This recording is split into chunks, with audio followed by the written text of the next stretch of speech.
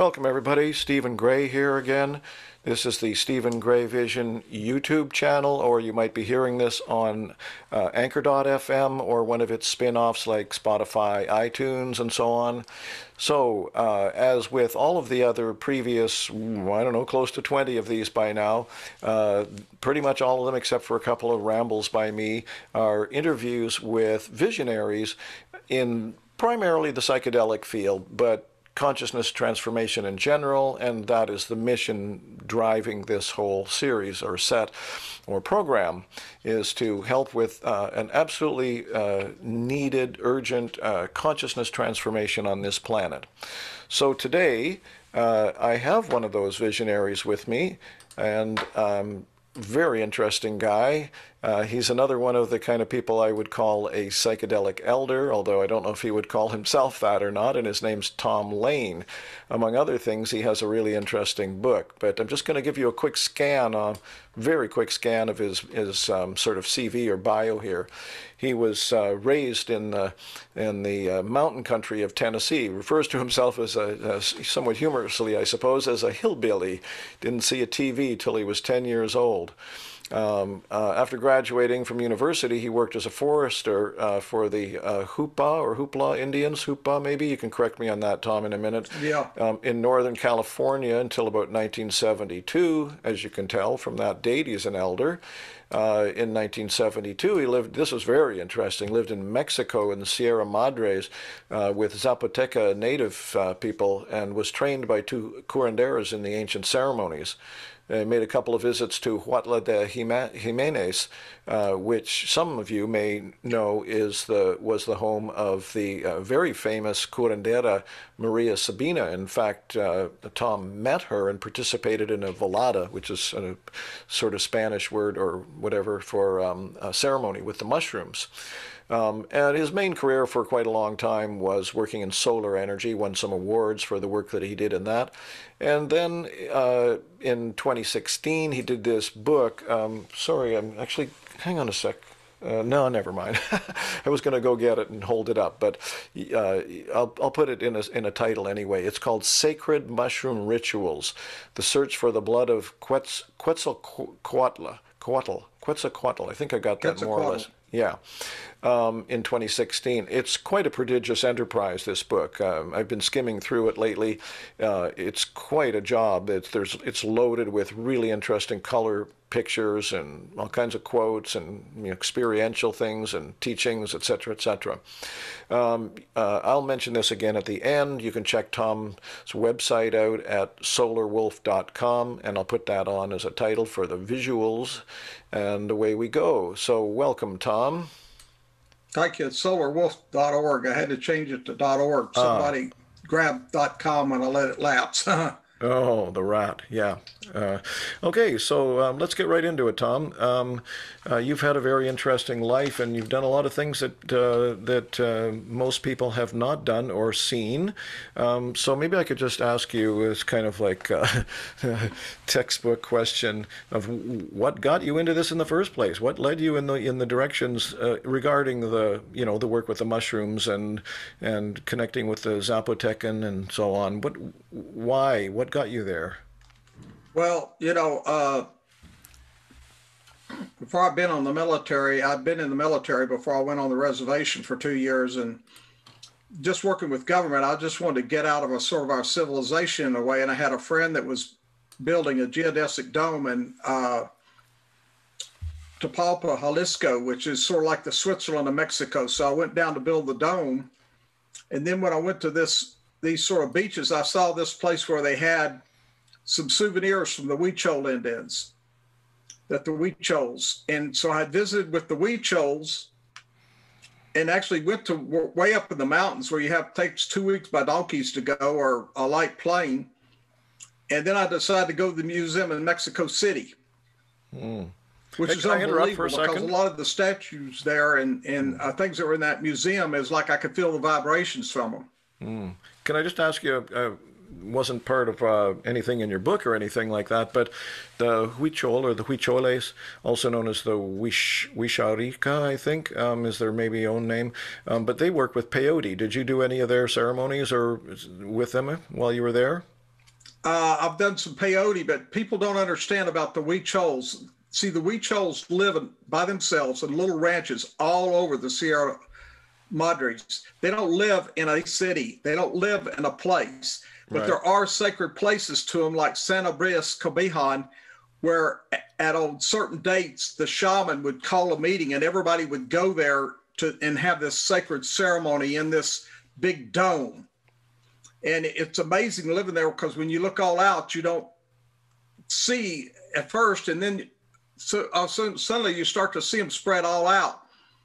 But uh, the Catholic Church, to try to organize things, they would always wear these sacred places where they build a little Catholic church. Oh yeah, well that's typical. Huh?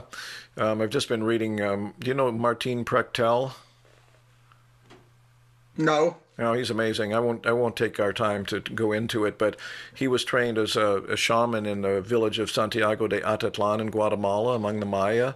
And uh, I was just reading about how they had this sacred tree, a, a se- sechtel, I think it's pronounced tree, um, that uh, they claimed was there from the beginning of time. And the Catholics and all these people, and every time they got a chance, they would go and they'd cut this tree down, or they'd actually, one time they actually dug up the roots, but the tree just kept coming back no matter what they did. That's a well, whole this this this journey of the Huichols, which you have to go on to when they go to their sacred ground, Wirikuta. and they all carry an arrow and shoot a peyote. There was stories I heard from people up in the village that when they were in the church for a, a Catholic ceremony, that they would all shoot the arrow into Christ. So I thought that was pretty uh, amazing story. hmm So um, I, I, I think I interrupted a bit when you were in the middle of uh, answering my question. That was, how did you get into this focus that you ended up that you know finally resulted in the book Sacred Mushroom? Uh, well, that's what I decided to hike the Appalachian Trail back in 2016. I'd written a lot about my experiences back during that time. And I met people like Wasson and actually gone to Wasson's home in Connecticut and everything. But I didn't want to talk about a lot of these people and places because I didn't want the same thing to sort of happen to them that you heard about, you know, had happened in Waltland a few places. Mm-hmm. Yeah, definitely. Um, so when when did you first encounter the mushrooms, though? Was that um, you know with the hippies up in the states, or was it down there? It was actually down there. Uh, I had gone to Chichen Itza to see the temple there after leaving the museum, and I'd had a really strange experience. And a guard pulled me over and said, "Come with me." And at one hour, one time of day at the base, you're, you, they're supposed to take a couple of people, and they go up through the tower, uh, Great Pyramid of Kukulcan, and underneath is is the Jaguar throne with an actual jaguar there. And it really amazed me when I saw that. And when I left to Palenque, I tell the story in my book I was going along in Palenque, and as a forester, I was amazed by how they they were putting an actual uh, post in the ground, and it would grow a tree. But the fields there had a lot of the Brahma cattle, and they were dropping the uh, San Isidro, what the what the Indians call the San Isidro mushroom after uh, patron saint of hard workers, who's to encourage and give them in the field. And one of the things uh, I've learned about this mushroom is you can eat three or four of them, five or six of them, and just work all day long without sweating or anything. Like last weekend, I was going through the swamps in northern Florida, and it was a hot, humid day, and I took about 10 of them, and it was just like I was sailing. It creates a type of awakened dreaming. But at that time, I knew nothing about him, and I was sitting in a Zocalo when this little Indian girl came up and gave me uh, some because her sister had seen me in the field, and it was such a blessing because the legend goes the first mushrooms are supposed to be given to you, or the legend is they find you. hmm Nice. Yeah. So, um, what would you say? I mean, part of the reason that you ended up writing this book, no doubt, was because you you're aware that these mushrooms have amazing abilities. What would you say they did for you personally? Like, what did you learn? How were you changed by uh, eating mushroom, eating psilocybin-based mushrooms?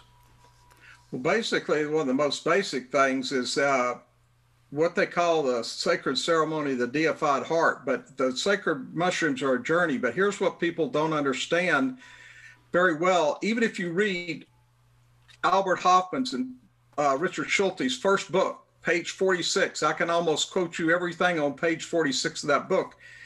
It talks about what happens with the body. For an example, your nictitating membrane on the corners of your eyes move back the pressure goes off your eyeballs. I could use all the fancy terms they use, medical terms, but I'm giving it to you in straight language. These two nictitating membranes move back like on a lizard. The pressure comes off your eyeballs in the back, and you gain the ability to focus your eyes back and forth stereoscopically. But at that time, you're able to start seeing the emanations like during the day from plants and from animals. And if it's the right sunlight and everything, all of a sudden you can see it's like the Tao Te Ching that everything's a form of energy. And you start to see that if you walk up to a rose bush, you know how the every leaf has a little tip on it? Mm-hmm. You start to see like little spider tubes between all the tips mm-hmm. of the leaves, and they join together. Each one of these little leaves on every bush are joining together and then the whole thing will start to vibrate and it's a type of communication with you where you're reciprocating your vibrations back with that mm-hmm. plant or with that bush and that's something that's coming from your feeling body you see the uh, aztec the uh, or call it mexicana or mexica. Not the aztecs of the that we think about but the mexica or the mixtecs they believe we came to earth to dream that we weren't that we came here it, the life wasn't important above earth until you were reborn. And they believed in a type of dreaming awake being awake when you're dreaming. Now there were these ancient sages there were both men and women. They were called the Tamerlane. And they go through time to maria sabina like you called her a curandera. And she was actually much more than that. She would be what could be considered a sabia or the Mazatec word for it, I can't pronounce it, but it be the one who knows things. Well, these were the people that would sit and take mushrooms and develop the philosophy of what's called the Tuk, the T O T. And the idea of the Tuk is that when you're taking mushrooms, you can actually see three forms of energy that are vibrating from living things. And that's how you can do healing. That's how you could do like astral projection of your body or shape shifting. And it will absolutely drive you mad when you start to study uh, the, the philosophy and the gods, if you don't realize these aren't like Europeans or Hindu or Buddhist or Egyptian or Roman or Christian or anything, they are describing forms of energy that are seen under the mushroom. Mm-hmm. And um, presumably, even though you can't see them without the mushroom, that's happening anyway. That energy. Yeah, it's just that uh, because your nictitating membrane pulls back. Yeah. There's less pressure on your eyes, and your eyes are able to focus in, in a different type of thing. It's like the Mexica, the, the Me, Mextica had different symbols for different types of time. There was they would make an A and an O, and they would hang things from them. And one of those symbols with an A and an O meant like uh, normal time. There was another symbol for infinity. There was a, but there was a special symbol for B mushroom time. That was the time after the onset, when you were in a mushroom state of mind and you could see these energy and vibrations. That there was a special symbol for that, mm. because that is like what they call seeing through time. There was really the past you might know about, but it wasn't affecting you or the future. You were processing everything in the moment. Yeah, fascinating. So, um, correct me if I'm wrong. What I think I'm hearing from you in describing this movement of energy that you are implying is in, that I think you're saying is communicating with you. You you are um, making the case, as it were, or pointing out. Uh, it seems to me that plants have. Uh, in that they're living beings that they can communicate in the moment. Um, they're sentient in that sense and intelligent, even though they might not have what we call the wiring of a brain. Uh, is that correct? Yeah, I, I, it, it's much more than that. There were times where we would have live living mushrooms in pots in the room. And they hadn't been picked. They were brought in in pots and collected dirt and all and brought into the rooms. And we would sing to them in a ceremony. And the mushrooms would actually start dancing and moving around their stipes. I wouldn't mean like they're going across the dance floor, but moving like that. and as I reported one occasion in my book, I remember one American young woman. She was sitting cross-legged on the road and she, rug, and she passed out because uh, it wasn't possible for that to be happening. It was beyond the consciousness of what mm. could be could see, and we weren't we were we hadn't done anything yet. You mean you hadn't eaten the mushrooms yet? No. Wow, amazing. Huh? They were dancing at the start of the ceremony because they knew we were treating them as a sacrament and we were thanking them for becoming what we call the flowers of the blood. We were blessing them for being the flowers of the blood and helping us, you know. Mm-hmm. That's fantastic. Yeah, that you know, I'd say that's a revolutionary kind of principle for these modern, you know, rational reductionist kind of technologic technologized cultures to get the, get the message, you know, that we are living in an, you know, ensouled, intelligent, live world. It's incredible, you know, it's amazing. It's great that you've had that experience and can pass that along.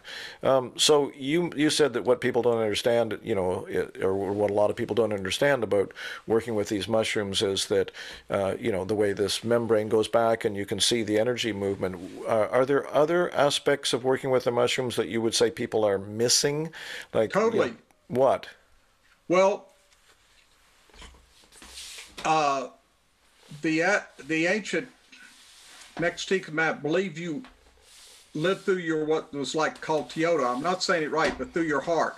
Your heart has 50, 40,000 brain cells around your heart, just like your brain does. The same brain cells, 40,000 of them around your heart. Now, when you start dealing with trauma or anything wrong in your life or something, that's embedded in the physical body. You know, if you have a little child up until he's seven years old, or an animal, they're in a theta state. They're not in an alpha state like we are later. Uh, that's why athletes train like crazy so they can get in the theta state. Now, one of the things that Hofmann and Schultes mentioned in their book, it calls humans to have monosynaptic reflexes. Now, let, let me tell you what I mean by that usually if there's an outside stimulus in the world, it comes through the nervous system to the spine, to the brain, back to the spine and back. Now, the reason UFCC fighters are using it so much because it eliminates the brain. The, your body starts reacting outside impulse, nervous system, spine, and then back. And these are like what are called almost patella like reflexes of a cat. So your body's becoming alive. And when you see these emanations, you could see them coming off your arm. Sometimes people wake up and they'll actually see these green waves coming off these emanations off their arm. Well, the interesting thing, if you have a hateful thought, a racist thought, something negative, you can actually see it start to get black and and the blood's not pulsating. You can see it's affecting your body. Now, it goes much worse past this. Uh, I've seen people hold their arm up and just cause a wound to just right heal up. But oh. the mag, ma- magnificent effect that it's having in your body is the body, and we have a conscious and unconscious, right? A subconscious, which is part of the unconscious and the conscious, right? Those three things. Well, they're all on the states. That's why we call it awakened dreaming, because your dream state is fully awake. It's 100% awake. And at the same time your normal conscious state is awake and subconscious. All of a sudden your body which is real simple just wants to feel good. It's like a child. If you if you're talking to a child seven eight nine ten years old it doesn't matter what the mother and father is saying in the room. They want to feel the love. They want to feel the vibes in the room. The little child it's all about vibes. Well the body just wants to feel good. Well it, it's going to that's when the conscious mind just becomes an observer with the unconscious because you could say, okay, I got to get rid of this. This this negative thought, and so you'll form images of it and it'll to to drive it out of your body. Or I've seen some people like vomit or throw stuff up. They would physically like puke the first time now. they're get, they're getting rid of a lot of tensions all over their body. It's first time, and that's good. It's like a blessing. It's almost like you want to cry. These are this is joyous. This is real joy because the body's all of a sudden starting to feel good, and it's telling the mind, don't think these thoughts, don't think these things. Change that channel to another channel. You know what you've been listening to that's really negative. Flip that channel to another one because the important time you came into the world, right? You were born and that's when the sages said, okay, all that energy's there. But then you get hear all these channels up until a certain age when they say it's time to be reborn. That you're just a vagrant on the earth till you're reborn. That's why these ceremonies were a ceremony of rebirth. But it's not just a rebirthing of your soul and spirit, it is a physical rebirth. It's rebirthing your body. And you can feel this energy moving from your heart, pulsating. That's why uh, they call it the deified heart. And when the heart's pulsating like that, it gets in rhythm and synchronicity with your breathing in and out. And it's so easy to heal yourself then or feel good because all you have to do is let your body do it. Let your body adjust itself, breathing in and out naturally to how it feels and feels good with your heart pulsating. And then it's just at the absolute perfect rate. Everything is based on what the body is doing to let it heal itself. And the mind's just observing because you're breathing up or down or stopping or wherever it is. That's where you're bringing all these, what they call flowers of the blood into your body for healing. But for the first mm-hmm. time person, it's what you're seeing. Is so it's like you're in the Garden of Eden. Mm-hmm. That's that's that's beautiful, Tom. Thanks for sharing that. Um, excellent insights for people. So um, I'd been asking you about you know what the sort of you know moderns or Westerner types are missing, and that's you've pointed out a couple of really good things, and you could probably say more. But let me move on a little with you, and ask you you know, in terms of being able to access this kind of understanding, uh, what what kind of uh, advice or guidance or suggestions would you give to uh, in particular beginners, you know, people who are new to working with a mushroom, but not necessarily just them, because as I'm sure you know, a lot of people, you know, the psilocybin uh, containing mushrooms are, you know, very e- easily accessible these days. You can get them online or whatever, you know. Um, so lots of people are doing them. A lot of them, I'm sure, are doing them in very casual circumstances at parties or whatever, you know. So you know, what would you say to people if, like, if you really want to know what this mushroom can do and how it can help you, what what should you be thinking about? How should you approach it, etc. And and I'm also assuming in that question that you know the people that are going to hear your answer, for the most part, they're not thinking of going to Mexico and working with the Zapotec Indians. They, or, don't have to, but there are certain things that can make it work the best for you. It good. doesn't matter where you are in the world. And they are. First, number one, is try to get living, fresh, live mushrooms as fresh as possible. I mean, when I eat mushrooms with Maria Sabina and these curanderos that all been just picked that morning, they still were fresh and had the dew on them live, or sometimes they were actually brought into these little places, shelters where we were live living, brought out of the dirt. But try to get them as live as you possibly can, number one. And, and so before you go on to number two, uh, most people these days in you know the states and Canada and whatnot are not getting them fresh. They're you know they're getting them dried from somebody who has grown them and then packaged them or whatever. So, what in your experience is lacking or diminished by not having the fresh ones? Well, it makes things a little bit harder, uh, but it can still be done. I, it's not like it's it's because really the idea of the sacred ceremony was that you fasted the day before. You know that you don't eat anything the day before. Now you're prepared to go somewhere and look. I've been in the woods working three or four days in a row without eating anything. As long as you've got water, you're fine. The first three days you actually get stronger. Like when I go hiking, the first three days I may not eat anything, but I'm drinking lots of water, so that's no issue. But then after the first day of the fasting is over, uh, you take a cacao bean, raw cacao, that are been in a freezer, and you grind them with a coffee grinder, and hopefully it's been in a freezer because the more you keep things chill that when you pour your bubbling water through it, you're creating this cacao that has two neurotransmitters and excuse me, two bliss transmitters. One of them is like when two people are in love. And this this was designed supposedly given by Quetzalcoatl as an aphrodisiac or for young lovers and by Xochipilli, or this was a uh, precursor to a sacred mushroom ceremony that you take it two or three hours before.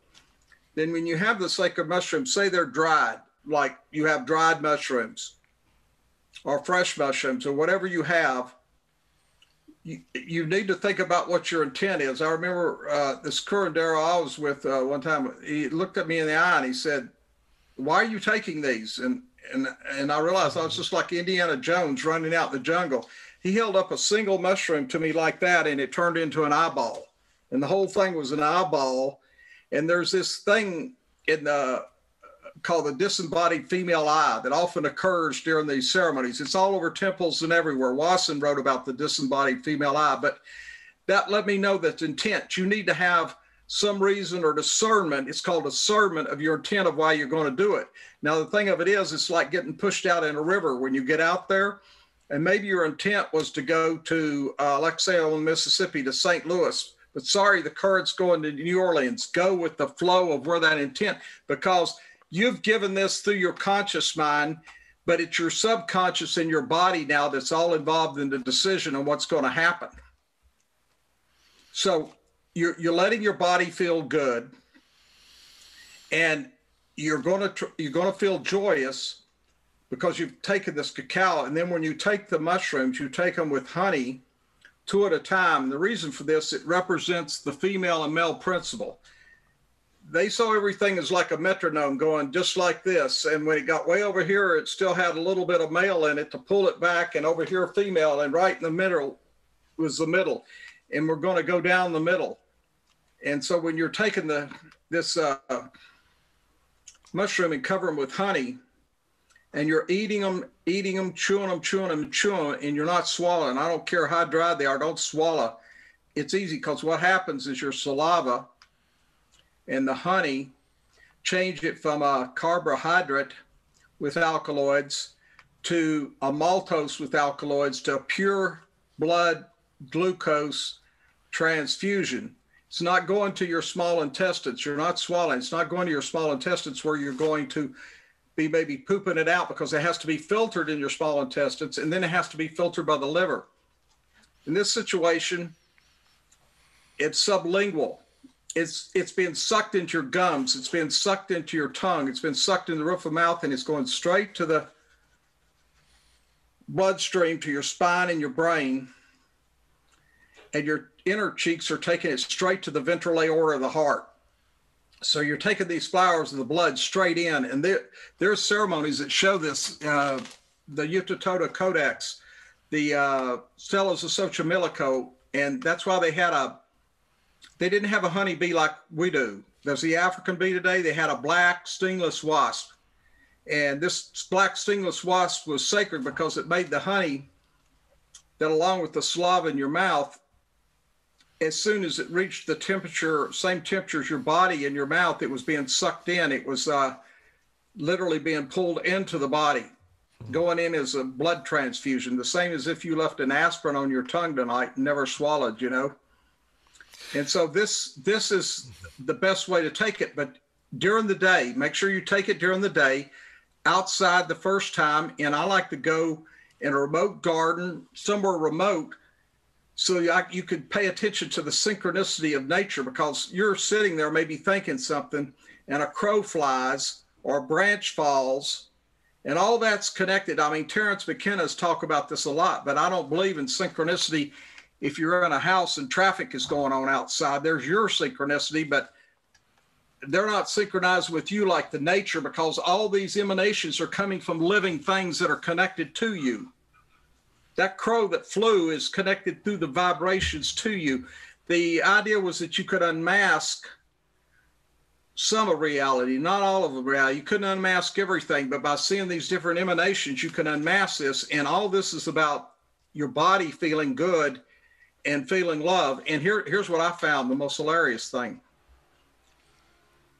Let's say a monster comer, some huge monster, some big black thing with dripping with blood, with skulls, and it's all coming.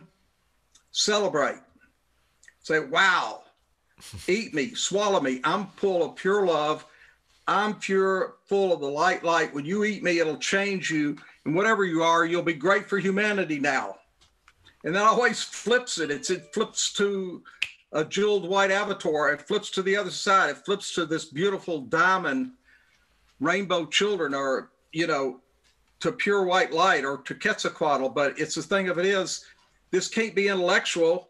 You're not thinking, oh my gosh, I'm gonna think about this huge terrible thing and turn it. You're gonna have to feel it. You're going to have to feel it. Yeah. Well, you know, several questions came up uh, from what you just said in the last few minutes, and I'm not quite sure where to go with it all. But let me just step back. I'll see if I can remember these because they're all really interesting things you're talking about. Um, back to the chewing of the mushroom itself, uh, I just want to make sure I and anyone watching this understands or listening to this understands.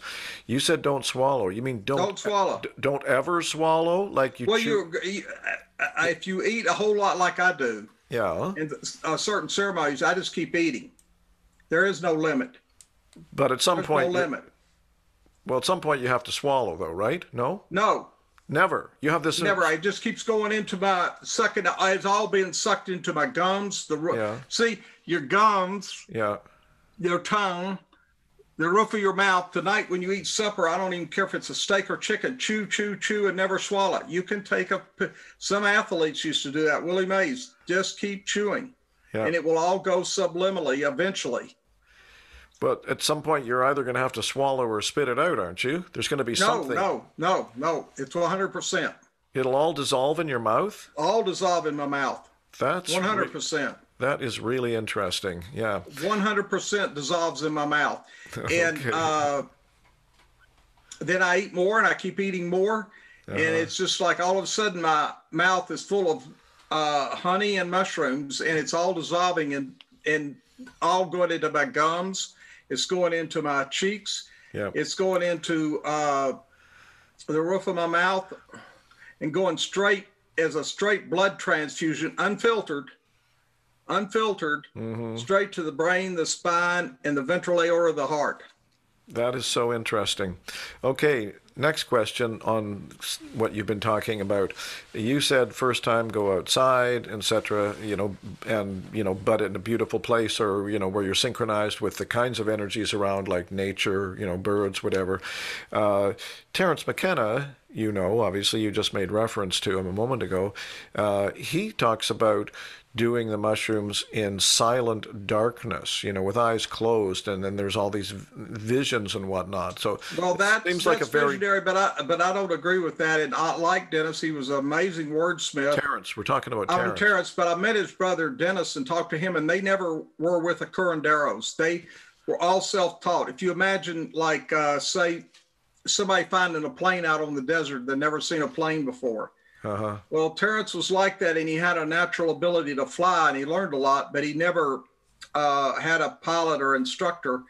And there's certain things my, my instructor told me not to do that I did do, but and he said that you know you're going to have to learn from this. I know you want to do this, but you're going to have to learn from it. And those were bad experiences. There's some things that are sort of, uh, but they turn beautiful in the end. There's something that's sort of tended to where you have a tendency toward male or female because Quetzalcoatl is the male female uh, diamond plume serpent. Yes. Okay. So, um, another question from something you said a moment ago, and that is you said that, you know, even if there's some kind of uh, terrible looking monster coming toward you, uh, surrender to it.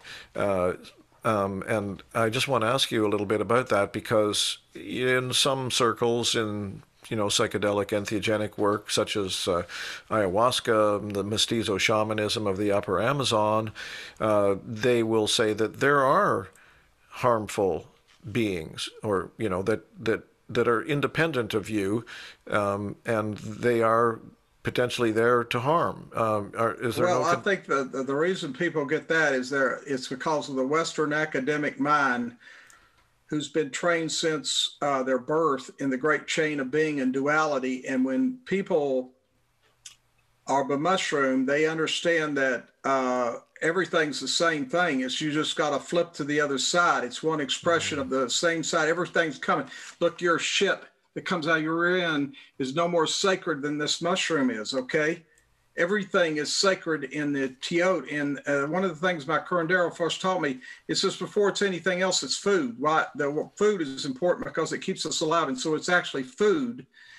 But the idea that you treat it all as sacred that's why when you say a blessing, you would say it a blessing for your food because you realize this is a blessing and you're being able to participate in a blessing. Mm-hmm. So if you take these mushrooms with the kind of attitude and intention you spoke about and do it the way you, that you do it and some horrible looking monster shows up, you don't need to be concerned that it's something that could do you harm. Is that correct? No, absolutely. You uh, embrace it, you you have to feel and you say you feel love for it and, and you embrace it and it will uh, flip over. And one of the greatest experiences i had which they often say you the, the by curandero you there's a trip to heaven. He says you've been to heaven. I've, uh, you've seen the tree of life in heaven during the day. He said after sunset there's a there's a thing where you can go into the underworld. We're not we're not talking about hell but we're talking about the underworld and you go in there and the real outside, I'm not talking about in your mind, and all of a sudden every leaf on a tree is a snake trying to bite you, and every root is a rat trying to get you, and you hear all the animals after you, and it's really real. I mean, you are now in a mushroom vision where you're seeing the leaves on trees trying to bite you like a, a viper, and a, the roots are rats. And then all of a sudden you realize well, I'm as bad as it could get. I'm in the underworld. And so your first thought is back, well, how do you get out of it? The only way you get out of it is love it, feel it, feel it all coming. You've got to feel it. It's coming from your feelings, and then it all amazingly changes. It amazingly changes, but you have to feel it. It's not an intellectual thing. Mm-hmm. You have to feel this and feel happy about it and enjoy us because these are your comrades. You you understand that these are avatars in this world. I've done the mushroom with Vietnamese Buddhist priest. I've done it with the Russian midget, uh, all sorts of people. And they all see us all, a lot of these same motifs because, you know, Jung talks about the shadow world and the shadow, right? Well, this is not the same thing, but they are people in this world that exist in this world. And you you mentioned uh, McKenna, he mentioned about Albert Hofmann, who said, you know, that was the difference. There were entities and beings in this, just like that are in your dream world, but they're all your comrades. But they're also guarding passageways. They're also guarding portals to them. And if you're not ready for them, you probably won't want to go through because you have to achieve this thing of where, you know, you love them. And you mm-hmm. have to get, and, and this is also getting past the point of where you're concerned with death or not. You're no longer concerned with death or, or not at all. It's not like you're crazy. You're not going to go commit suicide or jump off a cliff, you know, something like that. But this is a uh, reality because you're in that moment. You're just processing everything. Mm-hmm. That does sound correct me again if I'm wrong, it does sound kind of like advanced work in a sense. Like not everybody, as you say, is ready to uh, go through these kind of portals, right? Well, I think everybody is ready for their body to feel love and to feel love from all this mm. and, and to feel there's all this kinship. I do think that the bad thing today is we live in a what I call a simulation of the real. And that's why I always believe if you're going to do this, have a day before that you do like a day of silence as much as a day of a, a fast of food you know, and do dance, uh, do yoga, do whatever exercise is natural and normal to you. If you just want to walk, just walk. But then there's the day of when you do the velada, whatever that you've determined from your intent the other day, and you're you're and look at this as joyous. This is going to be a joyous event.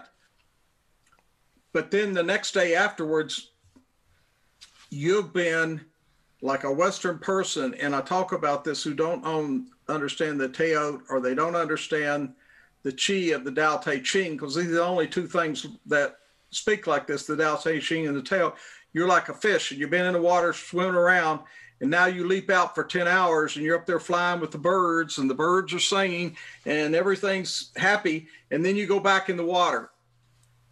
You got maybe amazing benefits maybe amazing benefits but more in doubt more probably likely and you know what happened but because you have this western dualistic language no matter what you think you know about everything is one you're using this language to describe a monistic thing. You're trying to describe birds singing and bird talk and bird flying with fish language. But that's hmm. okay. Just you know, you could learn you can learn bird language later, you know, but enjoy it. Just enjoy what's going on. Hmm. So the key message is uh, don't try to understand. Like David Byrne's old movie, uh, concert movie, Stop Making Sense. Yeah, stop. The house is burning down or something. yeah. well, stop making a, sense. Yeah, he did a great, um, a great uh, concert video um, movie. It was a movie. It went, you know, to the theaters and all that. It was, it was just a, it's just a concert, and the title of, of the concert and the movie was "Stop Making Sense." Yeah. Um, also, yeah. So that's great about, uh, um, you know, that that's really good advice. I think, you know, like lo- love whatever is coming toward you. Do you just, you know, we, this is just a little sidebar, basically, but just out of curiosity, uh, did you ever, do you ever remember a book that was published back in the '70s called the Lazy Man's Guide to Enlightenment? Yeah. Yeah, you remember that one? One of his yeah. things was um, when you learn to love hell, you'll be in heaven. Well, there's always the saying it, but the thing of it is, uh, to Western man, a lot of stuff comes out as something you're doing, the thinking thing, uh-huh. and it uh-huh. has to be the feeling, feeling heart that's in control in this situation because it really is. It's it's what I call the sacred triangle the conscious and subconscious there with the conscious mind they're in a you're an awakened dreaming now that's why they have this separate symbol from a mushroom time mm-hmm. but at the same time it's a physical body that's letting you know that everything's the ship is okay everything's saying i feel good you know what's that song james brown i feel good yeah that's well, it's like you're just moving through time yeah. you know i knew that i would yeah i knew that i would yeah, that's great. Uh, so, uh, uh, I, I specific. This is not you know this is a bit of a non sequitur in a sense, but it's still in the category here. Uh, right in the title of your book, you use the word uh, Quetzal, Quetzalcoatl, Quetzalcoatl um, and uh, it comes that name comes up a lot in the book. Uh, could you say a bit more like who that is? I mean, the, the way you talk about him in the book occasionally, it sounds like a person who had students, but you've also referred to him as a god. So it's well, a two, the, a two part question. legend was oh, ahead, way yeah. before the Mexicana, way before the Aztecs came out of the desert sometime about two to 300 years after Christ, maybe 300, 400 years, there was this man king of the Toltecs who created eh, eh, all of Teotihuacan. And this man king, whose father had been a man king, was Quetzalcoatl. Mm. Now, the legend is in these sacred ceremonies that uh, Quetzalcoatl which was an energy form represented male, female, the Quetzal being the female, right? And that's the all seeing eye, the all seeing female eye. And then you have the Coatl, the serpent, the male serpent, but it was the blood from the penis of the serpent that fell to the ground where the firstborn of the sun were born. Now, this was, they're talking about the sun prince, Xochipilli, but this is a male female with a serpent and from this serpent blood that had penetrated the earth it caused these holy sacred children to grow and come about. And that made the connection between the cosmos and the heart and man and the earth below and reciprocating sort of energy. Because it may sound amazing to you but if you study in anthropology up until then there wasn't any gods. They had this. They had witches and and wizards, and like the witch would be somebody would say, "Oh, the game's over there. Let's go get it." You know, that's where the game is. Well, Quetzalcoatl, they had been. The legend was human sacrifice and war between tribes. And he stopped all that. He said, You shouldn't even sacrifice anything more than a butterfly, that God doesn't want anybody's blood, that this is a blessing for everybody. And so he taught these ceremonies and created Teotihuacan and maybe later went on to become Kukulcan. But in the ceremony itself, there were certain ceremony itself that, like, if you follow the procedures like I talked about, eating with the mouth and the chocolate and preparing for it, if you wanted to emerge and meet Quetzalcoatl, Quetzalcoatl will come. Okay. And I've been out in the desert before, like in Utah, in a healing ceremony in Goblin Valley, and it's it's amazing. Just the wind comes up, all of a sudden, a spiraling wind, and then this jeweled rainbow serpent comes, and you could say, "Okay, I'm this crazy old man sitting in there in this room." But hundreds and hundreds and hundreds of people have seen the same thing are forms of that avatar because the avatar itself can shapeshift. That's what shapeshifting is about. It can shapeshift into something else because the, your eyes optically are putting these pixels together. Let me, you know, I told you I never saw a TV till I was 10, right? Mm-hmm. Well, my parents put the TV in the house and had it on, but with no sound. They had the sound off and I came in from the woods and I was playing with stuff and I was sitting there for about 10 minutes and I couldn't see anything. And then all of a sudden I was able to put all those pixels on the screen together. And I'll never forget there was some cowboys on a horse moving across the stream. And I thought, wow, you know, but but the eyes had to be trained to see that. Mm-hmm. Well, the mushroom is putting your eyes in a position you can see the vitality, the emanations coming from plants, from animals, and even from people to people. It's called a weaving type of uh, vibration. Some all, everything is glowing and having vibrations, but some of them are coming like a bouncing ball. They're, they're like oscillating, and some of them are spiraling and twisting, turning and twisting and spinning, but some of them are interweaving.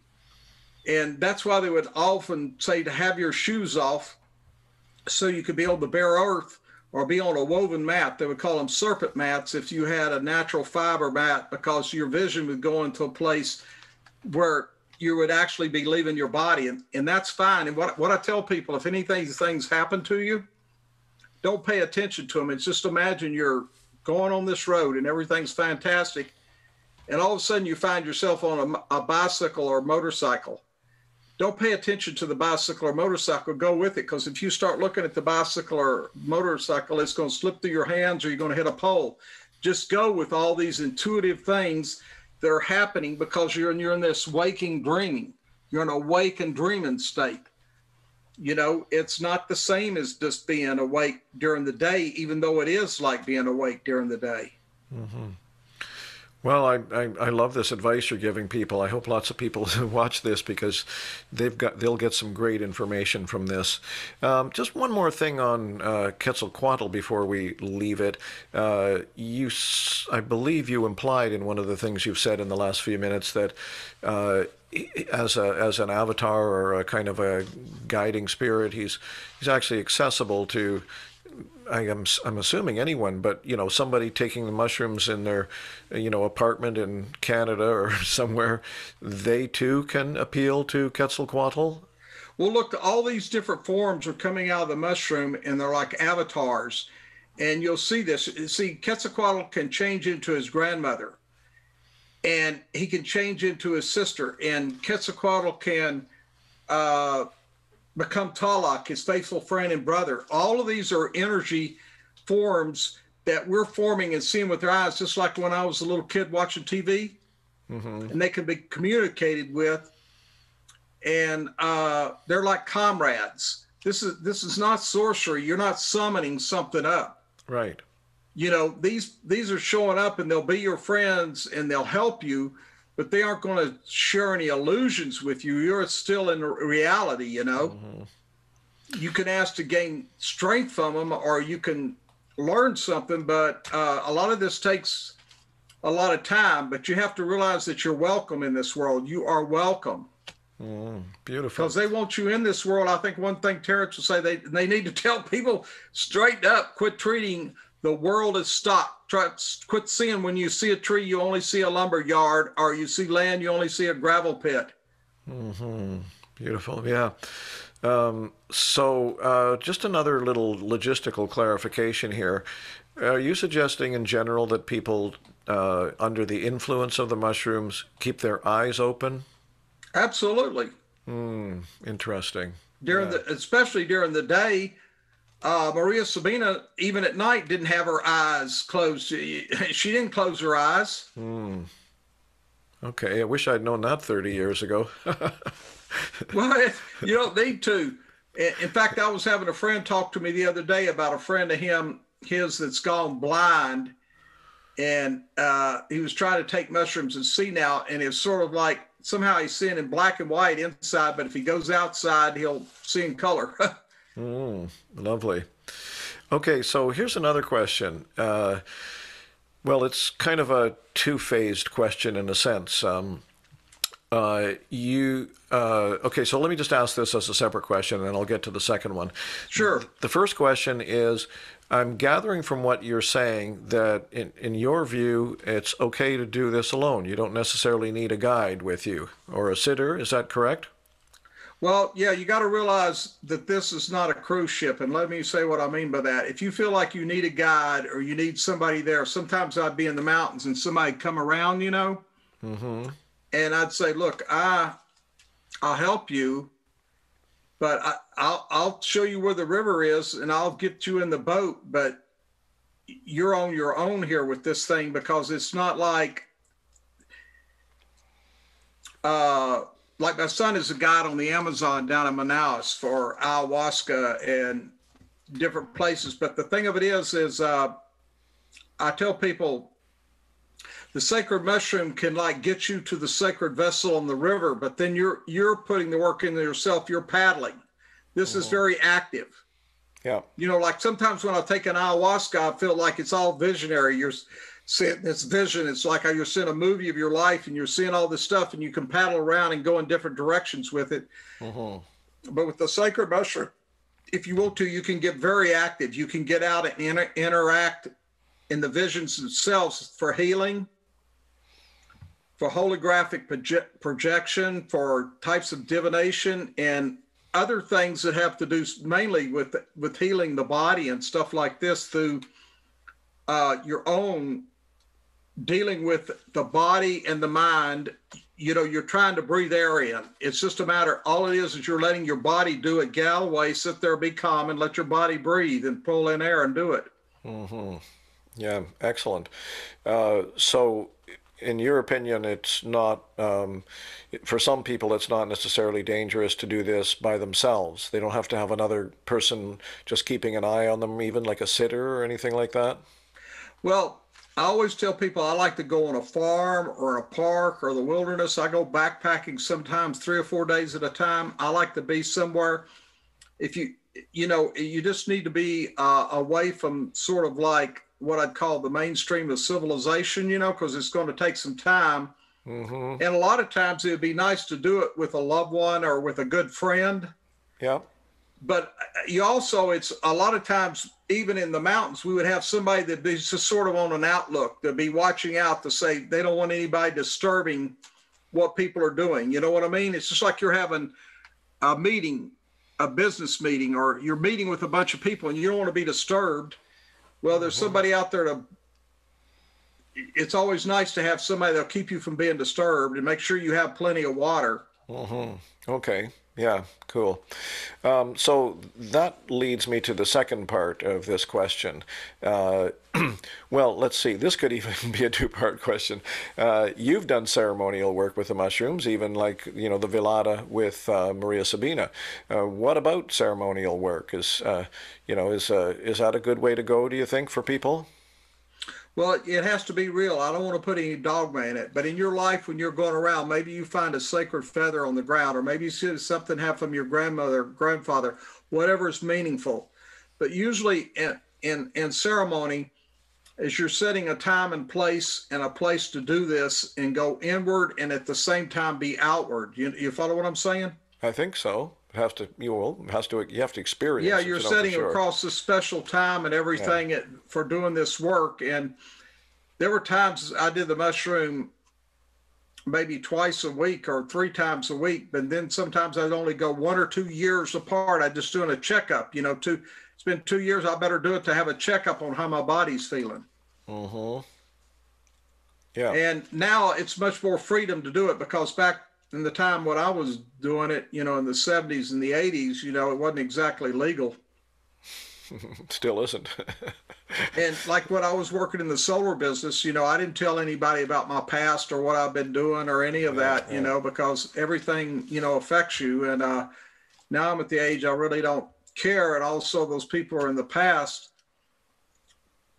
But uh, yeah. Yeah.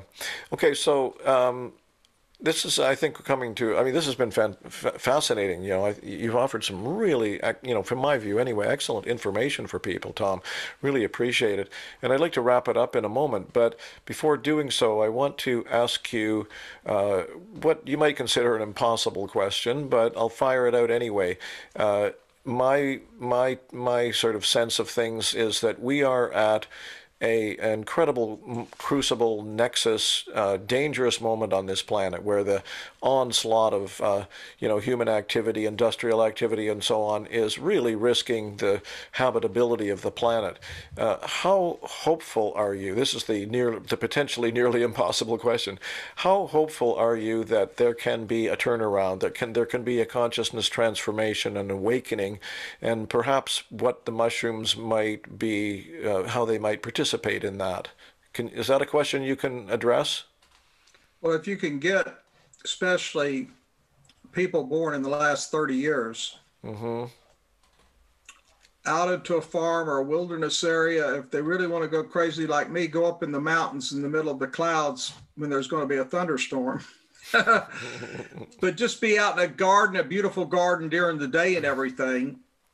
And uh, don't have any media or anything with you and reconnect the human carbon being with the other beings out there and don't feel terrible about what's going on don't cry or anything but see whatever you can do to change whatever you can do yourself about what's going on because if if, uh, if the whole world doesn't start to see this and we and and this is getting beyond male beyond female beyond races beyond classes or cultures uh, it, it involves we're in an age of extinction. We'll either go extinct during this age, except for maybe a few people living in the jungle, or we won't, you know?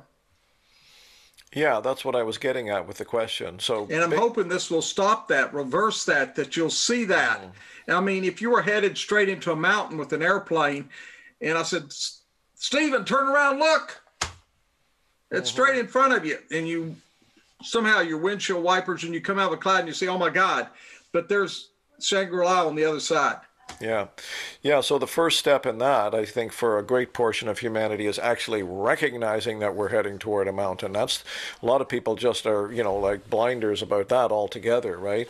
Or they're so caught up in, um, you know, tearing up the earth to make money that they, they don't want to see it anyway. But anyway, I don't want to end on a dark note. So um, I, I, I just want to, you know, again, refer back to your comment that you just made a moment ago that, uh, you know, the hope for plan- the planet is that you know enough people have these kinds of experiences and recognize and do something about it. That's the hope, right? You know, that's why Plato said the only person that should be the politicians and the rulers and the philosopher they call them philosopher kings mm-hmm. they couldn't own anything or have anything because mm. if you take the ability of people to own any and see that's the thing about getting old you realize you're not going to have or own anything anyway it's all a big illusion sooner you learn it, the better, you know, with some common sense. But um, nobody would, it's all, it, somehow we have to gain control of these big corporations. I don't know how to do that.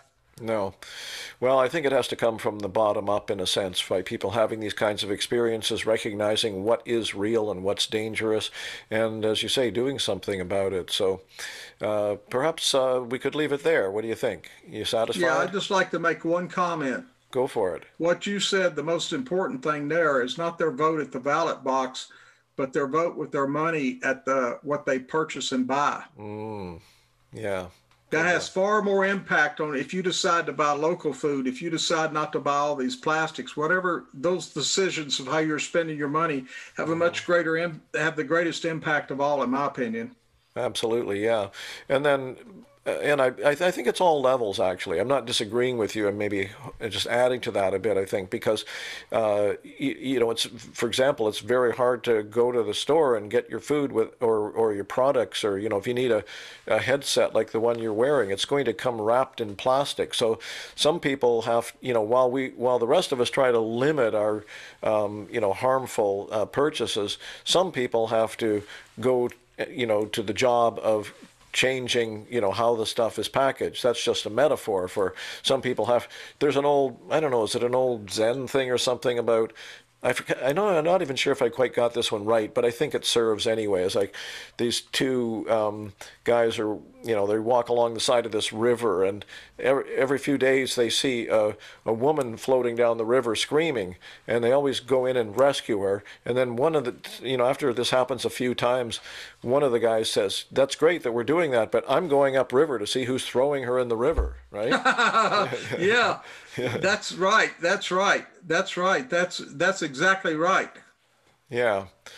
Okay, well, uh, cross our hearts and hope that we have a, uh, a, a grand and rapid awakening on this planet. And with that, I'll say, oh, and uh, by the way, uh, tell us your website again, Tom.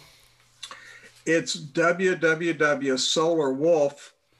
That for those who org org org and, yeah. I, and I have a Facebook site that is just sacred mushroom rituals and ceremonies. That's all it is: sacred mushroom rituals and ceremonies. I'll put a tab on that as well, a little title. And again, this uh, remarkable book. It's a it's a large format book, like eight and a half by eleven. It's a substantial book with a lot of amazing color photographs in it. You really went to town on that book, Tom. And it's called Sacred Mushroom Rituals: The Search for the Blood of Quetzalcoatl. Um, I finally got close to pronouncing that word correctly, I think. so, um, on that note. Uh, uh, thanks so much for doing this with me. And uh, I think it's wonderful information for people. So thank you. Thank you.